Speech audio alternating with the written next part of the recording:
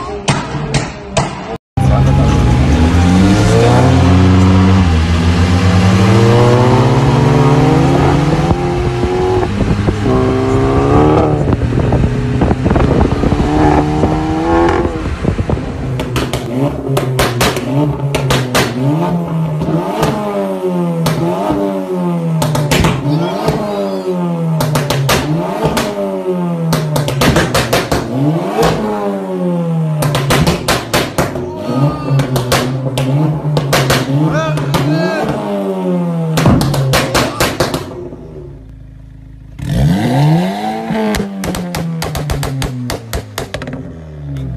Vâng.